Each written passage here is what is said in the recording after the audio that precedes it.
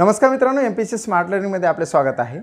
आज आपण बाराशे क्वेश्चनची जी वर्णमाला आहे मीन्स प्रश्नसंच आहे त्यामधील वर्णमाला पाचमध्ये आपण प्रकरण नंबर वर्ण विचार यामध्ये वर्णांची उच्चारस्थानी यावर आधारित दहा क्वेश्चन घेत आहोत. त्या क्वेश्चन्समधील म्हणजे एक्कावन्नपासून तर साठपर्यंतचा आपला आजचा प्रवास आहे. त्यामध्ये पहिला क्वेश्चन बघा फर्स्ट क्वेश्चन खालीपैकी दंत तालव्य वर्ण कोणता? ऑप्शन नंबर एक र सेकंड ऑप्शन ग थर्ड ऑप्शन ज आणि फोर्थ ऑप्शन आहे म. दंततालव्य वर्ण विचारलेला आहे. आपल्याला दंततालव्य वर्ण आणि तालव्य वर्ण यामधील आपल्याला डिफरन्स माहीत असणं गरजेचं आहे. मीन्स फरक माहीत असणं गरजेचं आहे. वर्णमालेमधील जो च छ ज ज हा जो च वर्गातील प- चार वर्ण येतात त्याचा उच्चार जर ययुक्त झाला तर ते दंत तालव्य असतात. सोबतच जर ययुक्त झाला तर तालव्य असतात. आणि अयुक्त जर असेल तर दंततालव्य असतात. एकूणच च छ ज झ ययुक्त असेल तर तालव्य आणि च छ ज झ अयुक्त असेल तर दंततालव्य म्हणून च छ ज झ किंवा च छ ज झ हे असतात तालव्य किंवा दंततालव्ये सो ऑप्शन नंबर थर्डमधला जो च आहे तो आहे दंततालव्य वर्ण. म्हणून थर्ड ऑप्शन राईट येतं. क्वेश्चन नंबर सेकंड आपण बघूया. खालीलपैकी कोणते व्यंजन दंतोष्टी वर्ण आहे?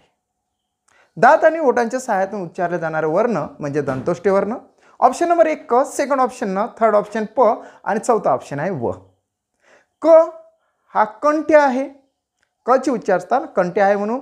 कंठे तो वर्ण आहे. न चो आहे त थ द न न येतो. न हा अनुनासिक आहे. सोबतच तो दंत्यवर्ण आहे. त्यानंतर प चा आहे तो ओष्टे वर्ण आहे. आणि व जो आहे तो आहे दंतोष्टीवर्ण. सो दंतोष्टी वर्ण म्हणजेच काय? व वर्ण हे आपल्याला पाठच करून घेणं गरजेचं आहे. खालीपैकी कोणते व्यंजन दंतोष्टीवर्ण आहे? तर आहे व वर्ण म्हणून फोर्थ ऑप्शन राईट येतं. क्वेश्चन नंबर थर्ड आपण घेऊया. वत्स म्हणजे तोंडातील कोणता भाग? ऑप्शन नंबर एक श्वासनलिका ते अन्ननलिका मार्ग. सेकंड जिबेच्या मागील भाग गळा आणि कंठ. ऑप्शन नंबर थर्ड जीप पडजीप रसना जीव हा भाग. तर फोर्थ ऑप्शन आहे तालुचा दातागडी फुगीर व खडबडीत भाग. आपल्या मुखविवराचे एकूण पाच भाग पडतात. ट उच्चारलं तर समोरचा भाग आणि मागचा भाग असे भाग पडतात. आणि जिथं ट उच्चारताना आपल्या जिभेचा सेंडा लागतो तो असतो मृदा. म्हणजे अगदी टोकावरचा मृदा. मग मृदेच्या पुढे जर आपण आलो तर लागतो तालू. जो खरबडीत तालू आहे त्याला वस्स असं म्हटलं जातं. आणि दाताचा जो भाग आहे तो दंते झाला. आणि पुढे असतात ओठ म्हणजे ओष्टे झालं. मागचा भाग मृदेच्या मागचा भाग असतो कंठ म्हणजे पडजिबेच्या वरचा. आपल्या जिबेची मागची बाजू ज्यावेळेस वरच्या भागाला लागते तिथून उच्चारले जाणारे वर्ण असतात कंठे. असे असतात भाग. त्यामध्ये वस्से हा तोंडातून कोणता भाग मग? तर दाताच्या वरचा. जो खरबडीत भाग असतो त्याला वत्स असं म्हटलं जातं. म्हणजे तालूचा दाताकडील फुगीर व खरबडीत भाग म्हणजे वत्स्य होय. फोर्थ ऑप्शन राईट येते. क्वेश्चन नंबर फोर्थ आपण घेऊया. ळ हा ध्वनी खालीलपैकी कोणत्या प्रकारातील आहे? ळ. वर्णमालेमध्ये ळ हा स्वतंत्र आहे. ऑप्शन नंबर एक मृदन्य. सेकंड ऑप्शन वष्टे. थर्ड ऑप्शन कंपनीयुक्त. आणि फोर्थ ऑप्शन येतं दंत तालव्य ळ हा ध्वनी खालीपैकी कोणत्या प्रकारातील आहे? बघा ट ठ ड ढ न. हे जे पाच वर्ण आहे ते मृदेतून उच्चारले जातात ते म्हणून मृदन्य आहे. सोबतच र श आणि ड हे तीन अन्य जे वर्ण आहेत ते सुद्धा मृदन्यच वर्ण आहे. म्हणून ड हा ध्वनी खालीपी कोणत्या प्रकारातील येणार आहे? तर मृधन्य प्रकारातील येणार आहे. मृधन्य त्याच्याला उच्चारस्थान होणार आहे. म्हणून फर्स्ट नंबरचं ऑप्शन राईट येते. Question number question number second आपण बघूया. Next question question number fifth पुढील वर्णांचा प्रकार अचूक ओळखा. ए आणि ऐ. एक दंत तालव्य सेकंड कंठ तालव्य थर्ड दंतोष्टी आणि फोर्थ आहे कंठोष्टी. It is mostly required to know all of this it's bright knowledge ए आणि ऐ हा कसा बनतो हे अगदी माहीत असणं गरजेचं आहे. ए कसा तयार होतो आणि ऐ कसा तयार होतो. दोन वर्ण एकत्रित येऊन तो तयार होतो. अ अधिक ई म्हणजे येतं अ अधिक लहानी किंवा मोठी म्हणजे ए होतं आणि आ अधिक लहानी किंवा मोठी म्हणजे ऐ होतं. अचं उच्चारस्थान जे आहे अ किंवा आचं ते आहे कंठ्य आणि ईचं येतं तालव्य.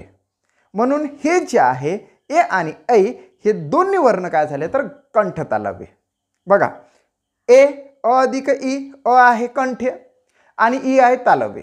म्हणजेच कंठ अधिक तालव्य म्हणजे कंठ तालव्य झालं ऐ.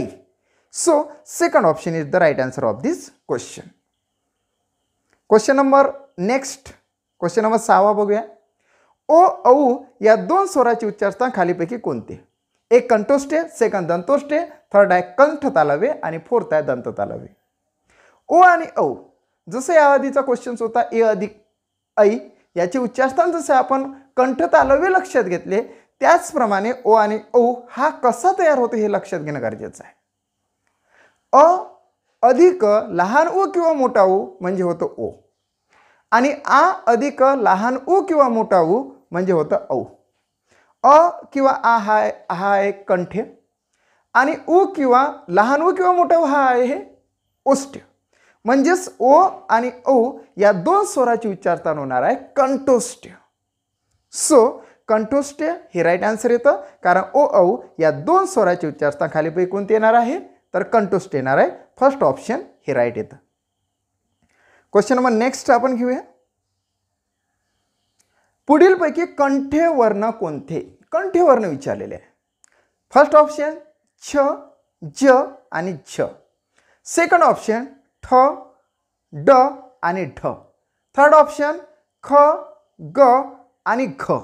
आणि फोर्थ ऑप्शन आहे थ द आणि न. कंठवर्ण कोणते? जिभेचा मागचा भाग ज्यावेळेस पटजिभेच्या वरच्या भागाला लागतो. जिथे तो भाग लागतो तो असतो कंठ आणि तिथून उच्चारले जाणारे असतात कंठेवर्ण. जसा क ख ग घ आणि अंग हे पाच वर्ण कंठेवर्ण आहेत. सोबतच अ आणि आ हे दोन स्वर कंठे आहेत आणि ह हा सुद्धा कंठे आहे. एकंदरीत आठ वर्ण हे कंठातून उच्चारले जातात. म्हणूनच इथे जे दिलेलं आहे थर्ड ऑप्शनमध्ये ख ग आणि घ हे कंठे वर्ण आहेत म्हणून third option is the right answer of this question next question आपण बघूया. पुढील वर्णांचे उच्चारस्थान ओळखा. य आणि श. य आणि श या वर्णाचे उच्चारस्थान ओळखण्यासाठी दिलेलं आहे. एक तालव्य सेकंड कंठ तालव्य थर्ड येतं कंठोष्ठ्य आणि फोर्थ आहे यापैकी नाही. य आणि श. तालव्य आहे का कंठ तालव्य आहे की कंठोष्ठ्य आहे की यापैकी नाही हे महत्त्वाचं आहे. ओके. य आणि श यश हा शब्द पाठ ठेवायचा. ज्याचं उच्चारस्थान हे तालव्य आहे. So first option is the right answer of this question य आणि श याचं काय तर? तालव्य येतं ओके. नेक्स्ट क्वेश्चन पुढीलपैकी कोणता कोणत्या वर्णगटाचे उच्चारस्थान मूर्धन्य नाही? खालीपैकी असा वर्णगट दिलेला आहे ज्याचं उच्चारता मृदन्य नाही असं विचारण्यात आलेलं आहे. एक ट सेकंड आहे डढ थर्ड आहे न आणि रू आणि फोर्थ आहे न आणि ऋ आपल्याला मृदन्य वर्ण कोणते ते लक्षात घेणं आधी गरजेचं आहे. जिबेचा टोक ज्यावेळेस मुखविवराच्या अगदी वरच्या भागाला लागते जिथे ते लागते ती मृद आहे तिथून उच्चारले जाणारे वर्ण हे मृदन्य वर्ण असतात. जसं ट ठ ड ढ आणि न. ट ठ ड ढ न. इत्यादी जे वर्ण आहेत ते सर्व वर्ण मृदेतून उच्चारले जातात म्हणून मृदन्य आहेत.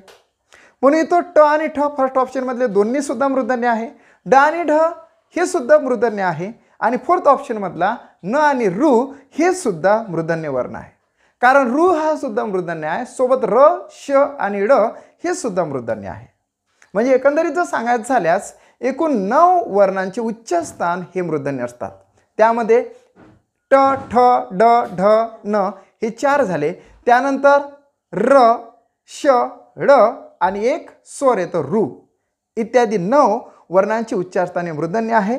त्यापैकी जो फोर्थ ऑप्शन आहे न आणि रु हा सुद्धा मृदन्य वर्ण आहे. मात्र थर्ड ऑप्शनमधला एक न हा मृदन्य येतो. मात्र लू हा मृदन्य येत नाही. म्हणूनच मृदन्य नसणारा ऑप्शन येतं थर्ड म्हणून third option is the right answer of this question question number दहावा आपण लक्षात घेऊया. खालीपैकी कोणता वर्ण संयुक्त वर्ण नसूनही त्याचे उच्चारस्थान दोन ठिकाणी आहे. खालीपैकी कोणता वर्ण संयुक्त वर्ण नसूनही त्याचे उच्चारस्थान दोन ठिकाणी आहे. ऑप्शन नंबर एक ए ऑप्शन नंबर सेकंड व थर्ड ऑप्शन प आणि फोर्थ ऑप्शन आहे. म. ओके. म आहे. खालीपैकी कोणता वर्ण संयुक्त वर्ण नसू नये संयुक्त वर्ण आपल्याला माहीत असणं गरजेचं आहे. संयुक्त वर्णामध्ये ए ऐ ओ औ असे संयुक्त स्वर येतात. ओके. ते जे आहे ते ते सोडून ज्याचे उच्चारस्थान दोन ठिकाणी आहे असा वर्ण आपल्याला विचारलेला आहे जो येतो व. म्हणून option number second is the right answer of this question second ऑप्शनमधला व हा संयुक्त वर्ण नाही तरी सुद्धा त्याचे उच्चारस्थान दोन ठिकाणी आहे. जसं कंठ आणि ओष्ठ्य म्हणून कंठोष्ठ्य असं त्याचवालं उच्चारस्थान आहे. म्हणून सेकंड ऑप्शन हे राईट आहे. ओके अशा प्रकारे आपण जे आपली वर्ण म्हणजेच आपली प्रश्नमाला जी आहे ती पाच आपण पूर्ण केलेली आहे. आय मीन सहा पूर्ण केलेली आहे. आणि आपला हा प्रवास बाराशे क्वेश्चनपर्यंतच आहे. बाराशे क्वेश्चन्स पूर्ण होईपर्यंत तुम्ही माझ्यासोबत असाल अशी आशा बाळगतो आणि इथेच थांबतो. जर का तुम्हाला माझा व्हिडिओ आवडला असेल तर प्लीज लाईक करा शेअर करा आणि सबस्क्राईब करा. आणि चॅनल हे फॉलो करा. Okay thanks thanks for watching my video